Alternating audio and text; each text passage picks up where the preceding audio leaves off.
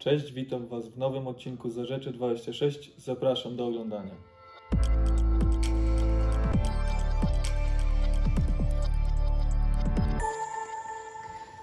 Marcin Fiedorowicz w kolejnym odcinku Za Rzeczy 26. E, Tym razem nie spotykamy się po spotkaniu. E, Niestety nie odbyło się. Zwycięstwo przez walkover. Czy, czy jest to dla Was jakiś pozytyw z tego? No chyba nie, no nie, nie odbyła się jednostka, ale mieliśmy trening, tam była gierka. Ja jeszcze nie grałem, bo jeszcze leczę kontuzję. No i tyle. No. Poważna kontuzja? Kostka. Tam, no, po operacji jestem pół roku i właśnie tam wraca cały czas. Coś tam się odnawia ta kontuzja. No. W tamtym sezonie, we wrześniu, początek no, wyśmienity, wiele bramek, taka świeżość na boisku. No jednak widać, że nie możesz dojść do tej sprawności. No, chcę się wyleczyć jeszcze na 100% i właśnie wtedy pokażę tam, na co mnie stać jeszcze. Kilka bramek jednak masz. Zaliczasz ciągle te występy. Jesteś ważną e, personą w składzie, ale jednak jest to pewne utrudnienie dla ciebie.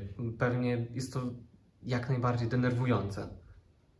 Nie mogę wrócić po prostu na 100% jeszcze do, do swojej gry i no mam nadzieję, że teraz będzie dłuższa przerwa i się wyleczę już na 100% i nic tam nie będzie mi przeszkadzało w tym.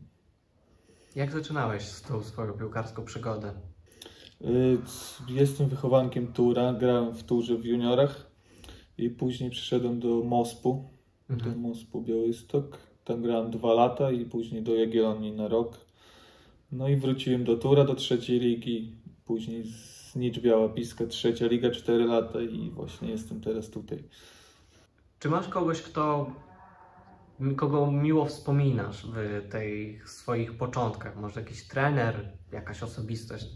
Y, No na pewno trener Samuel Tomar w Jagiellonii Białystok. Dużo się tam nauczyłem dzięki niemu. No i Gotek chyba najbardziej, najlepiej wspominam z trenerów. Jak było w Zniczu? Kawał czasu spędzonego w trzeciej lidze, dużo doświadczenia. No na pewno tam chyba mam ponad łącznie 100 meczy w trzeciej lidze. No tam akurat statystyki średnie miałem. Tutaj jak przyszedłem to lepiej dużo, ale no fajnie wspominam.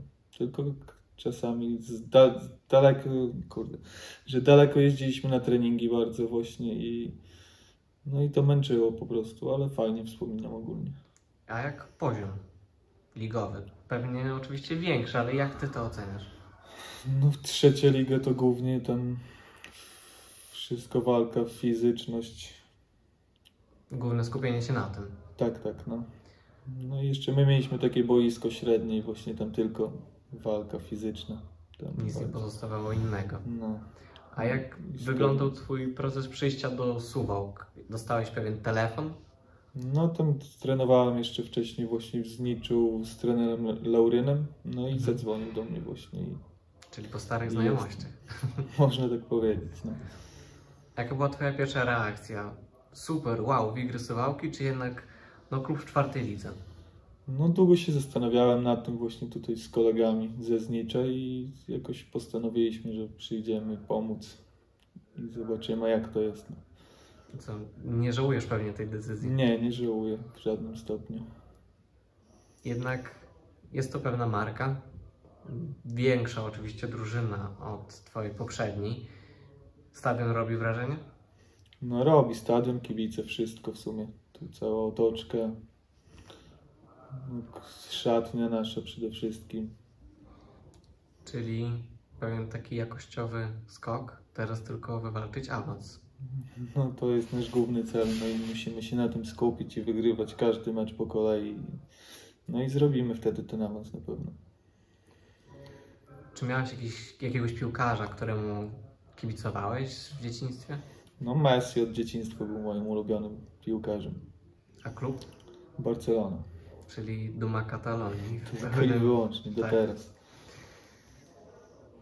To czym dla Ciebie był powrót Czawiego do Barcelony jako trenera?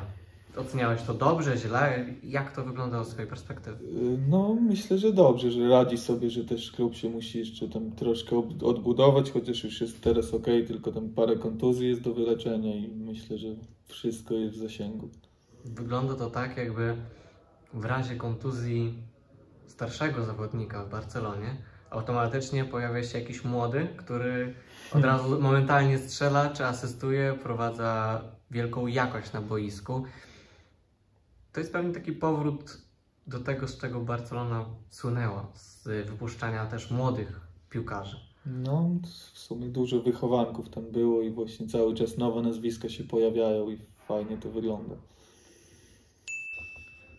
Jedenastka wszechczasów, Marcin Fiedorowicz jako trener. Kiedyś się spełni, czy nie? Oj, chyba tak, no kurs UEFA C zrobiłem, to mam nadzieję, że tak. Czyli jak można się Ciebie spodziewać w ofensywnym wydaniu, czy jednak stabilizacja, defensywa? Mm, Myślę, że ofensywa najbardziej. Jakie ustawienie? No 4-3-3 ofensywa. Czyli standardowo. Jak idzie to. To kto w tym składzie? Na bramce myślę, że bym dał Neuera. Prawa obrona Dani Alves. Środek tam Pujol na pewno i Pujol i może Maldini. Mhm. Czyli Lewo. znowu zaczynamy od dużej ilości zawodników Barcelony. No tak, no. No tylko ich w sumie tak oglądałem najbardziej. Mhm. No lewa obrona to będzie może Lam. Mhm. Y, Środek pomocy Iniesta, Pirlo i może Modric. Czyli Y, znalazł się piłkarz z no, rywala. jest. No ale tam taki, on jest taki, Niekonfliktowy. no dokładnie. Y, I z przodu na pewno będzie Messi. Mhm.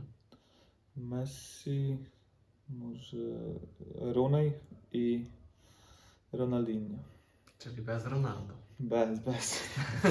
To jakaś e, Nie pewna przypadam. zdarzyłość? Nie, no nie przypadam za nim po prostu. Czyli Marcin Fiedorowicz nie bierze do składu Cristiano Ronaldo. Mówi Hmm. definitywnie nie dla tego piłkarza, no i zostaje tylko po prostu Leo Messi. Kto, za, kto z opaską kapitańską? Pujol. Pujol? No myślę, że tak. A jakbyś miał wybrać sobie asystenta do swojego sztabu trenerskiego, może ktoś z piłkarzy Wigry? Albo, nie wiem, Pep Guardiola.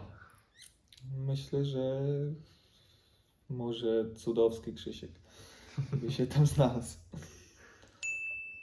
Y, Dzięki za oglądanie. Mam nadzieję, że się Wam podobało. Zostawcie łapkę w górę i subskrypcję, a do kolejnego odcinka nominuję Pawła Fajkowskiego.